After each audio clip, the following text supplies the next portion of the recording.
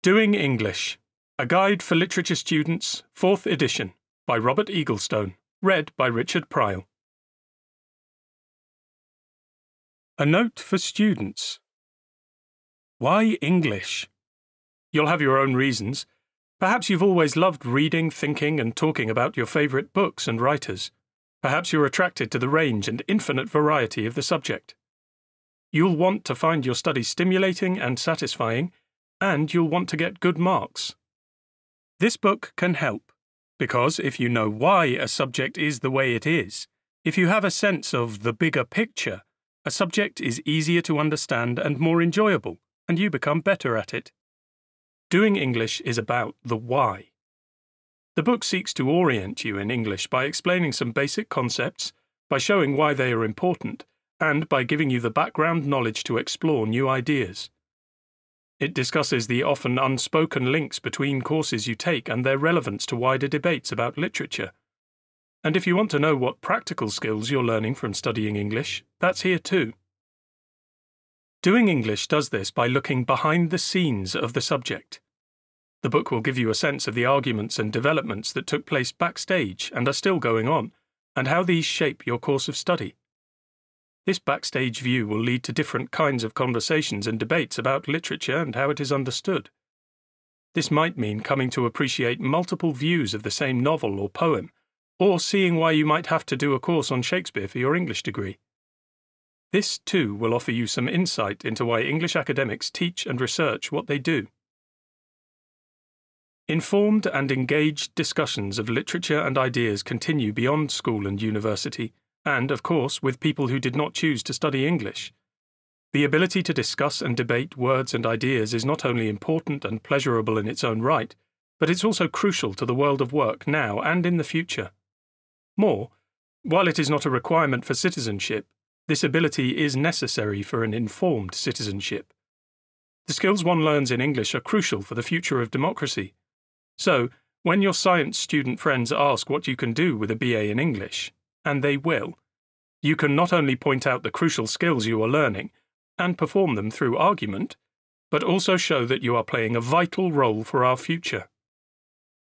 Overall, I hope that this book will enrich your growth as a student of literature, helping you to get higher marks and, more significantly, perhaps, to develop a deeper understanding and enjoyment of the work that you do. A note for teachers and academics. This book was written to be of direct use to your teaching. Indeed, doing English had its origins in my experience of teaching. I found that students reading literature, criticism, and especially reading theory, and sometimes struggling, demanded quite rightly to know why they were reading this or that particular text. I discovered, rather obviously in retrospect, that when I explained why they were studying this text or topic, why this cluster of ideas was important, they found their study significantly easier and more enjoyable, and they did better. In exploring the why, in trying to look backstage, doing English openly addresses an awkward but well recognized aspect of the subject. In some ways, English seems outside what we think of as education. The study of literature is about an array of things that are deeply significant but hard to pin down or test personal response and experience, passion, interest, exploration, otherness, community, delight. In other ways, of course, as one of the most popular and often required academic subjects, it is very much within education. There is a tension between the concrete objectives of obtaining certificates, degrees, skills, and qualifications on the one hand, and, on the other, a more intangible but no less real sense of personal and communal betterment. In English, this very real tension seems at its most obvious. Will this be in the exam? Can irritate the teacher, while the ambiguities of literary meaning and a lack of clear authoritative answers can irritate the student. However, this book seeks to go beyond this tension by explaining to students why English is taught and studied the way it is. Its focus is on what some educationalists call metacognition. Roughly, this means knowing what you are doing and why, Knowing this not only makes you better at doing it, it makes it more rewarding and pleasurable too. Understanding the wider context helps focus the more specific learning that is taking place.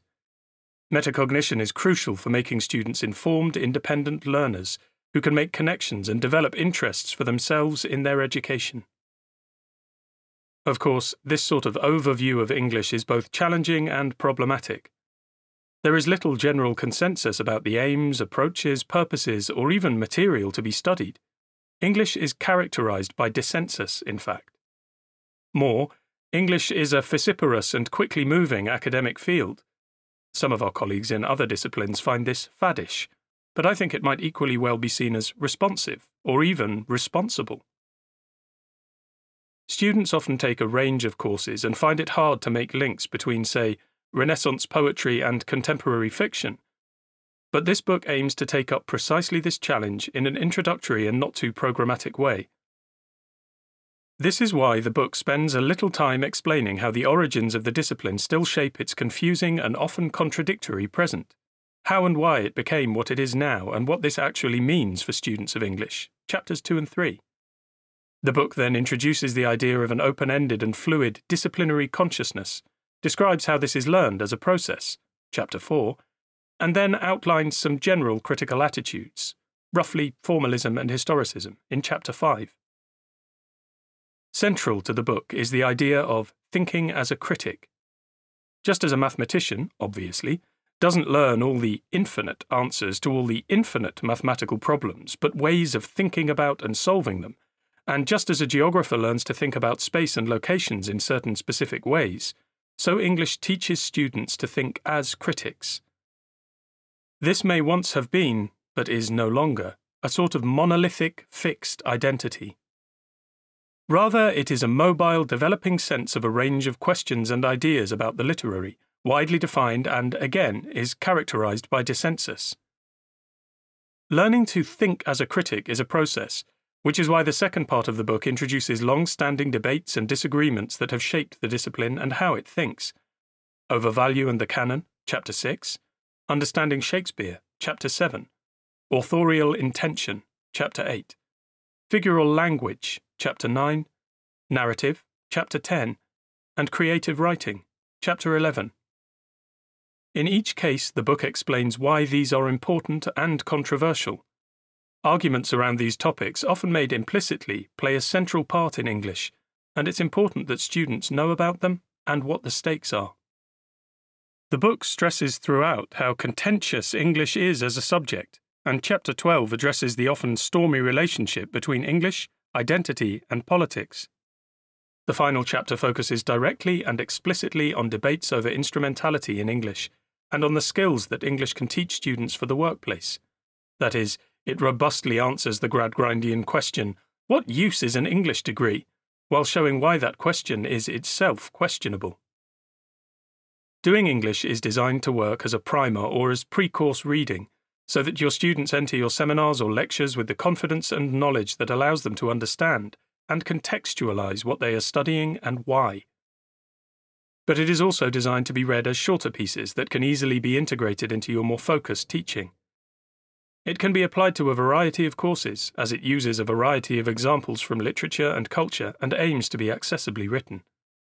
The book is short, and the topics the subject of much argument, Tensions between your views and the text are inevitable, but perhaps these may set the stage for your own interventions. Learning is process. What seems simple from higher up is often just a lower rung. The discipline of English, of course, faces some challenges, although the situation is not as bleak as some paint it. At its best, it is a subject that can form responsible, knowledgeable, thoughtful, literate, creative, and highly employable individuals who retain a lifelong passion for literature and culture. This book, in introducing the subject to students and explaining why it is the way it is, seeks to play some part in this. Part 1 How We Read. Chapter 1 Studying English. In this chapter, who is this book for? What is it for? How to use this book. Who is this book for? This book is about why and how we study English. It will explain key ideas about English and the study of literature. If you are doing English literature at university or college, or for A level, or on an IB course, this book is for you.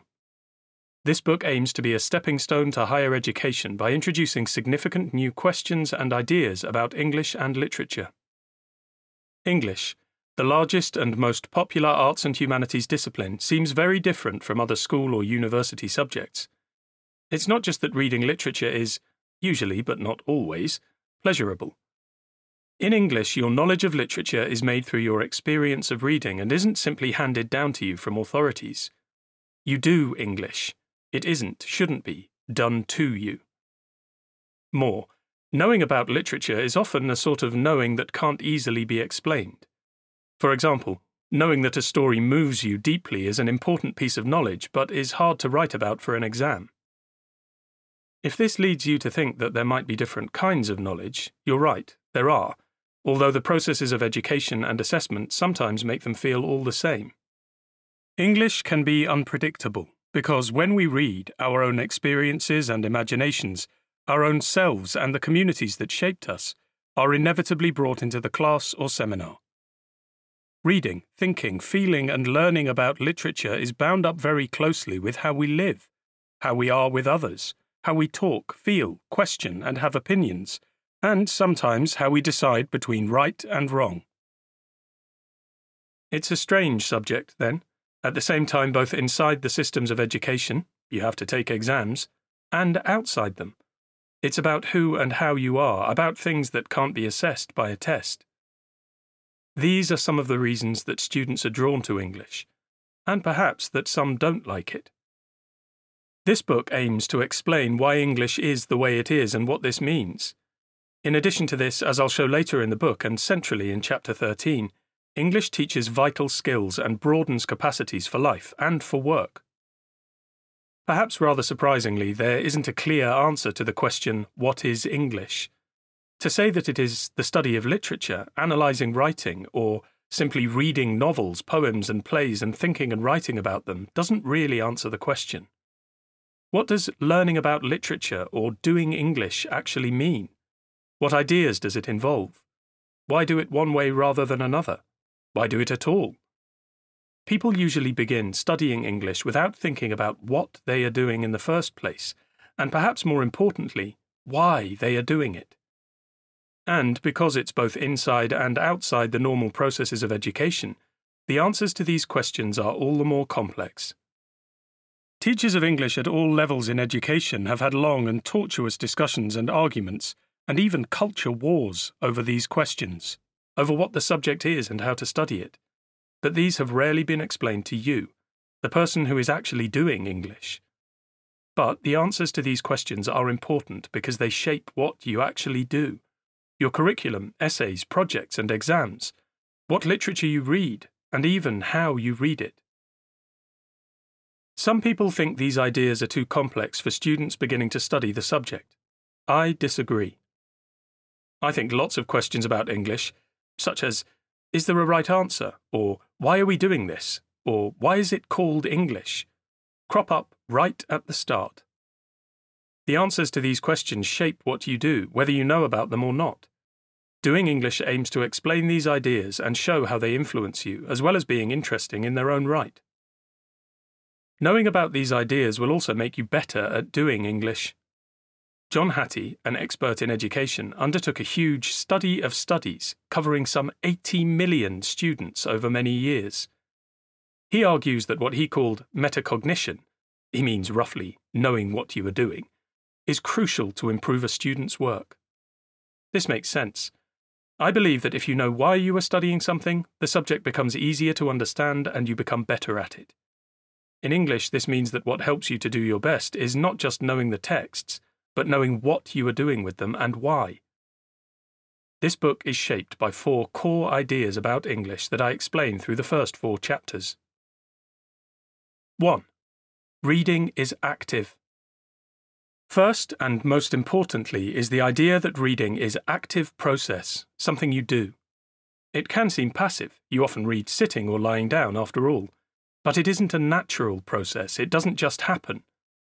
Reading is a dynamic act of interpretation, and knowledge is made through the experience of reading and can't simply be poured into you as if it were water and you were a bucket. This means that reading and interpreting mean almost the same thing, and you'll see I use the words almost as synonyms in this book. When you interpret, it means that you find some things important and not others, or that you focus on some ideas and questions and so disregard others. You bring your ideas, your tendencies and preferences, yourself, to reading a book, hearing a poem, seeing a play, watching TV or a film, or looking at social media on a screen. Your interpretation is shaped by a number of presuppositions.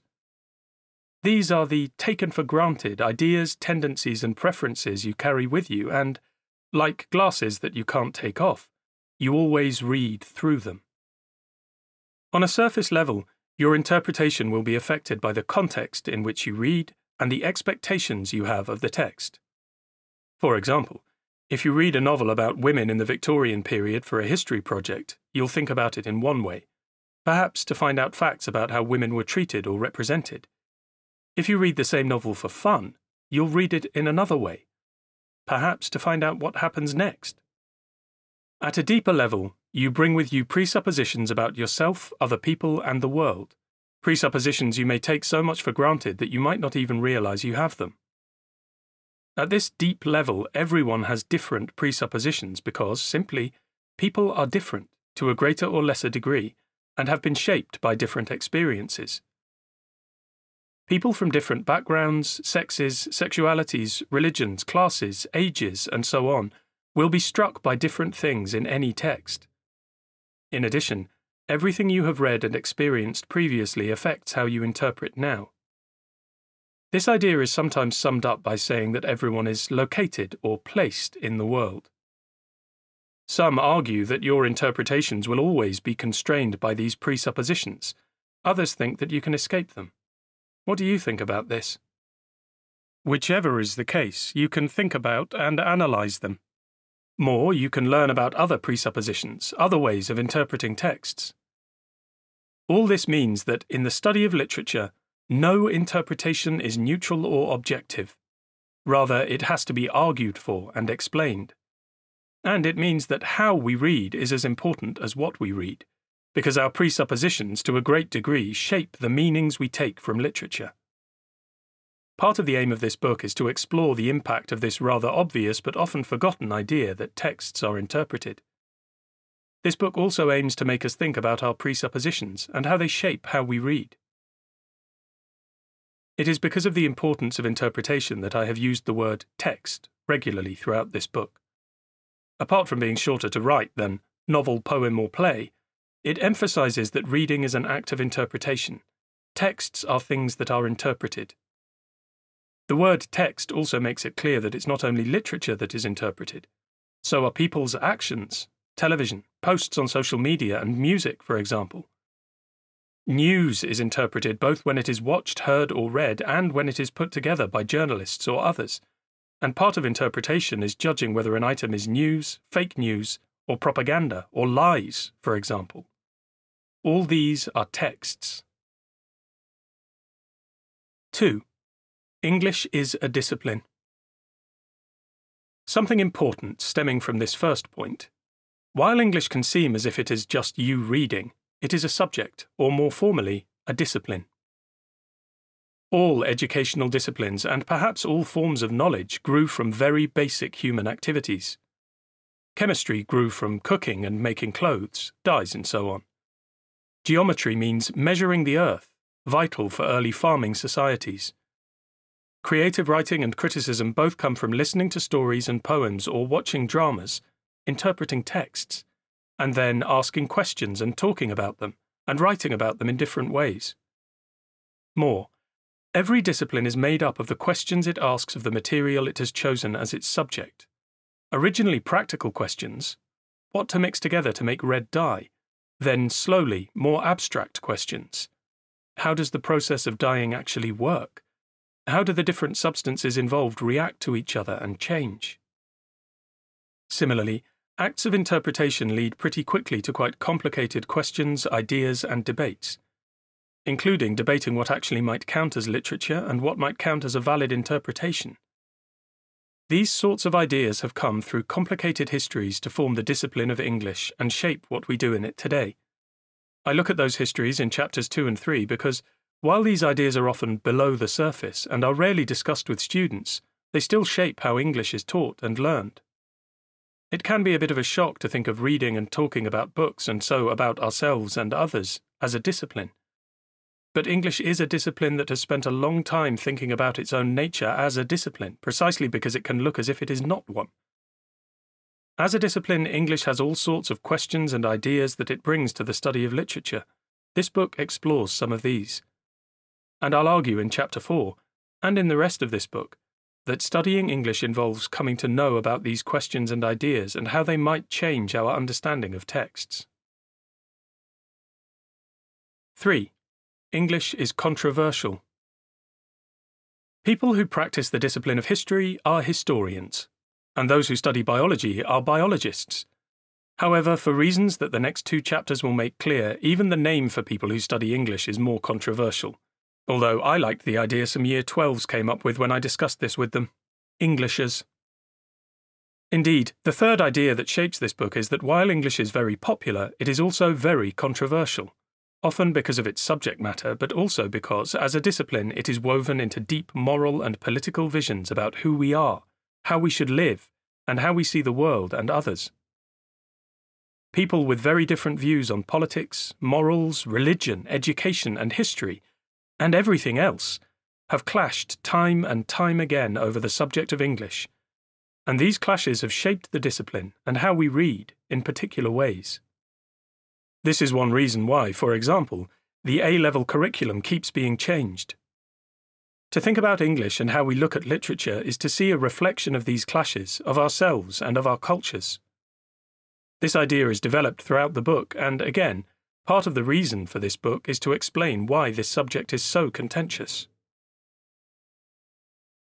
4. English is constantly changing. Finally, this book tries to show that English and how we see literature are constantly changing. All disciplines change over time. Chemistry is very different now from how it was 300, 100, or even 50 years ago. More. Disciplines are born, grow, and die out over time. English is a relatively new subject. Its modern form is only just over three or four generations old. It is also one of the most quickly evolving and developing subjects, Indeed, the study of literature has transformed radically in the last 30 years or so. One result of this has been that there can sometimes be a large gap, even a disconnection, between the way you study English at university and the way you study it for A level.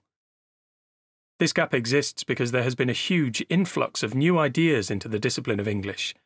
Ideas about, for example, feminism and gender, sexuality, the mind and the body, politics, race, globalization, the environment and the contemporary world, the use of digital technology and other art forms, as well as ideas drawn from all sorts of other disciplines. These new ways of thinking about literature have stimulated new forms of studying literature and even helped rediscover books, trends, and authors that were previously passed over or ignored. These newer ideas, often summed up as literary theory, created this gap. You may come across some of these ideas at A level, and if you choose to do English at university, you definitely will. Studying English today means having a sense of what these ideas are and, crucially, why they have arisen. Because of these new ideas, English as a subject has become much more wide ranging and challenging, and these changes have affected all of us who study or teach English.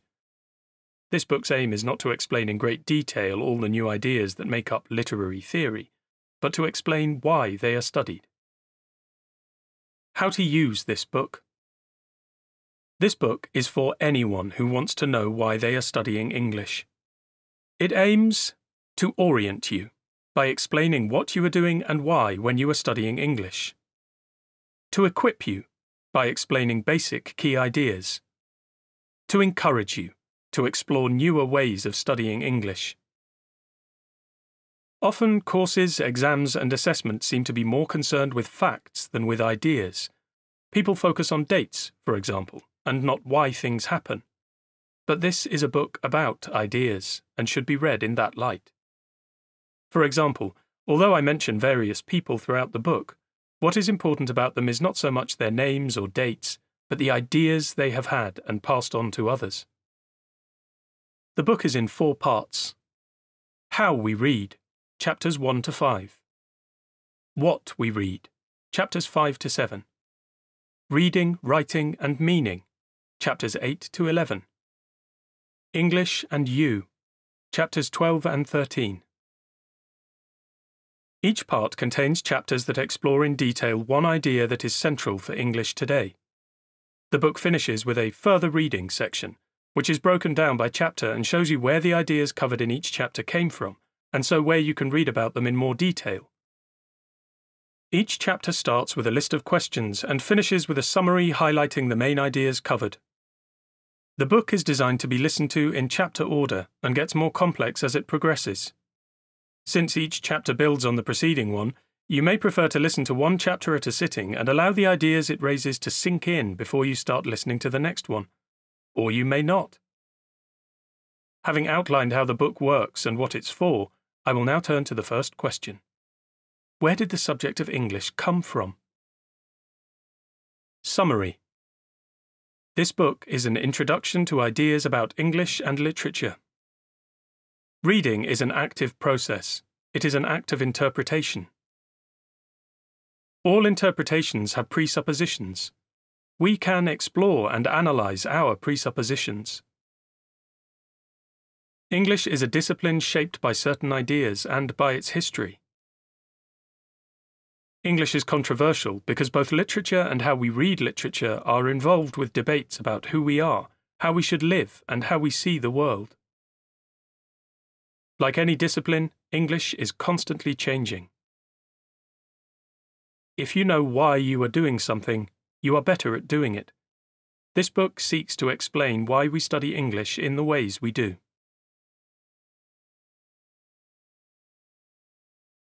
Chapter 2 Where did English come from? In this chapter, what are disciplines? How did English develop? How do those ideas still shape English today? Subjects seem taken for granted on school timetables or in the names of university departments, but they didn't just appear. They were slowly constructed over time and shaped by particular arguments and debates. Moreover, disciplines are not just ways of studying things that already exist. They shape what they study as much as what they study shapes them. How you look changes what you see. What you see changes how you look. This is true of the discipline of English and what it studies, what we now call literature, and I'll discuss this in more detail in Chapter 6. Here I'll look at the intellectual, artistic, cultural, and social forces that created the discipline of English, because this history, although rarely discussed, is not simply in the past, but continues to shape what we do today. English is like a long conversation through time. Like any conversation, it moves over various linked themes. It has quarrels and agreements. People talk at the same time, struggle to be heard, or shout louder and louder to dominate the debate. People suggest fresh ideas. What about this? Or respond to earlier ones. Can we just go back to. There are newer and older participants. Like all proper conversations, part of it concerns the point of the conversation itself. Can we please focus on why are we discussing this? And now you, doing English, have joined this conversation and will change what's said next. Like working out what was said in a long conversation, the story of the growth of English is complex. There is no single eureka moment, and all the many participants have different versions of what happened. Its history means that English is a family of linked, evolving concepts that don't fit together neatly at all. Beginning the conversation. Although what we now call literature is as old as civilization, the formal study of literature is really very recent. Doing English as we do now would seem strange or even laughable to somebody from the early or mid 19th century.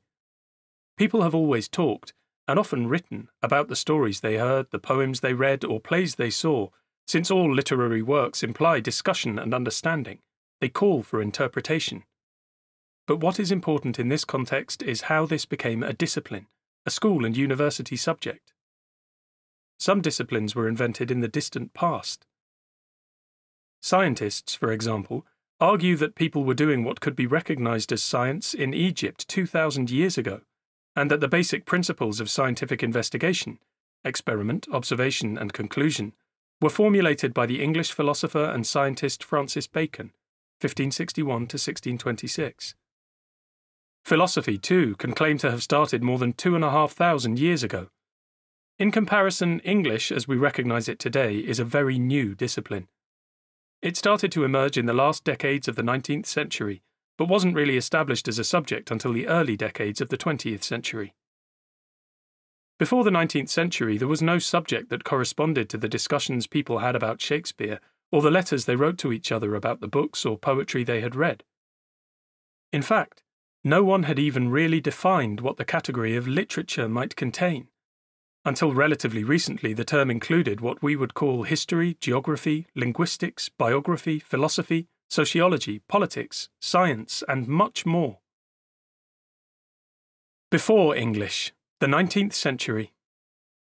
In the early 19th century, the closest thing to what we know as English, and it was still pretty distant, was the study of the classics, the ancient Greek and Roman plays, poems, and historical and philosophical texts from which society drew a great deal of inspiration.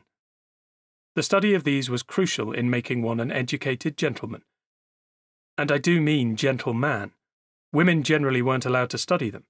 Indeed, in her A Vindication of the Rights of Woman, 1792, the early British feminist Mary Wollstonecraft, 1759 to 1797, argued that the right to study the classics was vital for women's equality.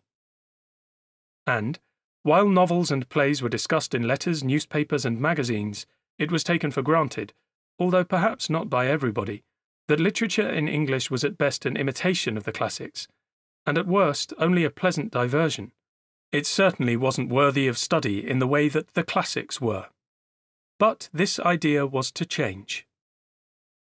One of the most important academic disciplines that underlay the development of English was philology. Philology, etymologically it means roughly love of words, is the study of language and the historical origin and evolution of languages. In part, it grew from the earlier traditions of biblical understanding and exegesis, and it was perhaps the dominant humanist subject in the 18th and 19th century. Because of the questions it asked and its historical approach, it was sometimes seen as threatening to established ideas. Philologists used a huge range of texts from the past, religious, historical, those we now call literary, to trace back the family tree of languages to their origins. Indeed, it's been suggested that the origins of philology were in magic, as people believed that the more ancient the language was, the more power it had because it was closer to the language spoken by God, Adam, and Eve in the Garden of Eden. This link between ancient languages and magic is why, for example, spells in books like the Harry Potter series are in versions of Latin or sound antique. But by the 18th century, scholars were less interested in magic and more in using language as a way of tracing back national and, for some, racial identity, uncovering our cultural DNA, we might say today. In doing this, philologists often put together exhaustively edited scholarly editions to present literary and other works in their fullest and best versions. While this was less interested in what texts meant, in what made them literary, for example, and more in how they fitted into a wider historical picture, philology helped establish the sense that works could be studied historically, that they formed part of a tradition, and that this tradition was somehow connected to national or communal identities. Through the 19th century, literature came to be seen as an expression of national character or identity. Shakespeare, for example, became a way of thinking about being British. At the same time, universities also taught the discipline of rhetoric, as they had for hundreds of years. Rhetoric is the art of how to speak and write well and persuasively. People teaching rhetoric often used what we now think of as literary texts for models for good or bad writing, and as examples to work through. Rhetoric also underlies the study of how we write or speak, what in the United States is called composition. Like philology, the study of rhetoric was also less interested in the meaning of texts and their literary merits and more interested in the use of language itself. Interestingly, and in contrast to the nationalism that seemed inherent in philology, studies in rhetoric stressed how English was a language amalgamated from others, from Latin, Saxon, Old German, Norse, etc., and how different words for roughly the same things created complex shades of meaning.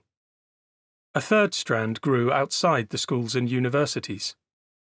Influenced a great deal by the poets William Wordsworth, 1770 to 1850, and Samuel Coleridge, 1772 to 1834, the idea grew that poems, plays, and novels were not simply pieces of dry historical evidence for tracing the development of the language, nor schoolroom sources to be drawn on for examples of how to write well. Instead, Literature was not only beautiful and moving, but also taught about how to live in the broadest sense, cultivating an organic way of being and living in the world. In this, it became assumed that some writers, centrally Shakespeare, were better, more valuable, and more important, precisely because they enabled this broad sense of life.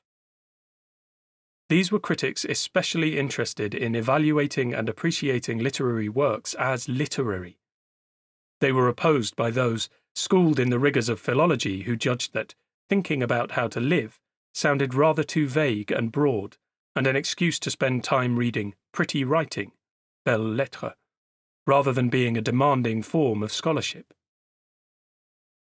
An example of how these strands came together in the middle of the 19th century is in courses at colleges of the University of London.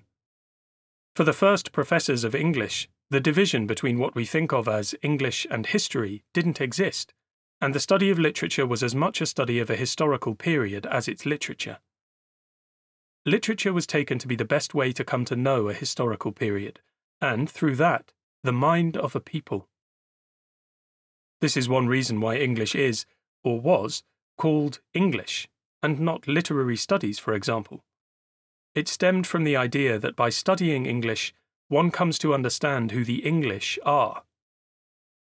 As Ted Underwood argues in his book, Why Literary Periods Mattered, at this time the English curriculum was explicitly designed to foster national self consciousness, expressed practically as mastery of English style. This sort of cultural nationalism remains in a legacy in the name of the subject, and is also, of course, one reason the subject itself is controversial as I'll discuss in more detail in Chapter 12. But this very powerful idea, that somehow writing opens up the inner mind of a people and a period, and in doing this shapes or influences people, had more than just academic consequences. In Britain, it clearly helped foster a national identity, a focus point for both the nations within the state England, Wales, Scotland, and then the whole island of Ireland, and also disparate groups within the state. But it had more far reaching consequences too. At roughly the same time that courses in English were starting in London and spreading across the English speaking world, this idea was being used in more dubious ways. During the first half of the 19th century, the British Empire was the dominant world power, and central to that empire was the colonial occupation of India. At the start of the century, the British ruled India not directly, but through a company, the East India Company, which had a complex contract or charter concerning trade and the exploitation of territory. A fictionalized but equally rapacious version of the East India Company is also the villain in the Pirates of the Caribbean films. The charter was agreed by the British Parliament and renewed every 20 years. In 1813, Parliament renewed the charter but made a number of changes. They increased the East India Company's responsibility for the education of the Indian population and at the same time made it much harder for the company to support the work of Christian missionaries and preachers. Previously, the East India Company had helped to convert the Indian population, because the people in charge believed that Christian Indians would be more honest and hard-working, and more supportive of the company's colonial exploitation. They thought that studying the Bible and Christianity made the population more moral if moral is understood in the extremely narrow and self interested sense of being in agreement with the principles of the company. However, many people in London thought it was quite risky persuading someone to become a Christian. Perhaps this was because converting someone involved asking her or him a lot of searching questions, which Christianity then claimed to answer. The last thing Britain and the East India Company wanted was for anybody to ask searching questions about anything, in case their regime itself came into question. The upshot of this was that the East India Company had to devise another way of making sure that the native population would be eager to follow an English way of life, closely enough at least to be good company servants.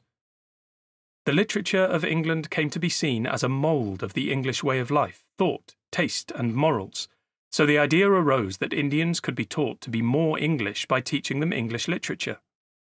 Studying English literature was seen as a way of civilizing the native population, which aimed, in the words of the British politician and administrator Thomas Babington Macaulay, 1800 to 1859, in his Minute on Indian Education of 1835, to create a class of persons Indian in blood and colour, but English in taste, in opinions, in morals, and in intellect. In 1835, this idea was made law by the English Education Act, which officially made English the medium of instruction in Indian education and required the study of English literature. So the idea of a school and academic discipline called English, which involved reading and writing about novels, plays, and poems written in English, was formed in India and the Empire, quite as much as in England, and shows that the histories of England and Britain are inextricably interwoven with their global, colonial, and imperial histories, even down to the subjects we study in school and university. This is another reason why the subject is called English. The idea that the study of English literature was a civilizing force remained very strong and was brought back to Britain. During the 19th century, internal division. We hope you enjoyed this preview. To continue listening to this audiobook on Google Play Books, use the link in the video description.